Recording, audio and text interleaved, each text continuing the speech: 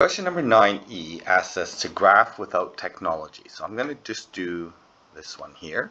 And it's already in factored form. So when we're draw drawing this without technology, all we really need are, for now anyways, are the intercepts, the x-intercepts and the y-intercept. And understand the multiplicity of this. So taking a look at g, I look at my factors, x minus 1, that's going to give me a 0 at x equals 1.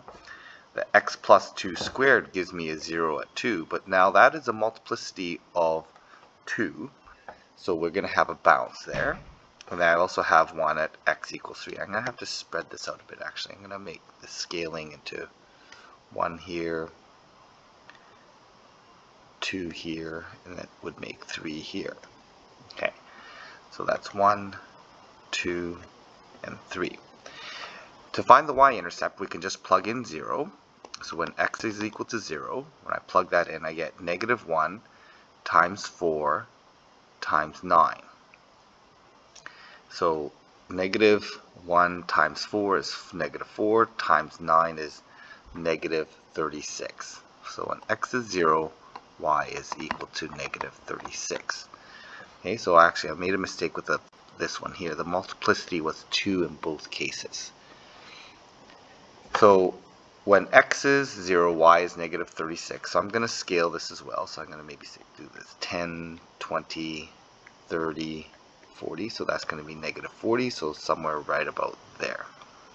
Okay, so negative 40 is my scaling. So to draw this then, I need to make sure that I have my graph drawn in the right direction.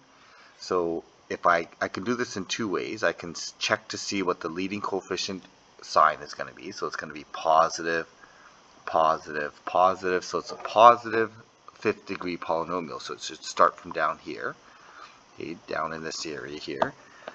But we could also just kind of guess at it and just make sure it can go through that y-intercept. Okay, because if we start on the wrong side, it will not go through the y-intercept without having extra zeros.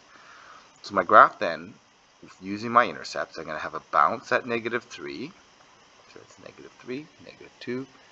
I'm going to have, oops, I'm going to have to draw this a little bit differently. It's bounce here, another bounce there. It's got to go through the 40.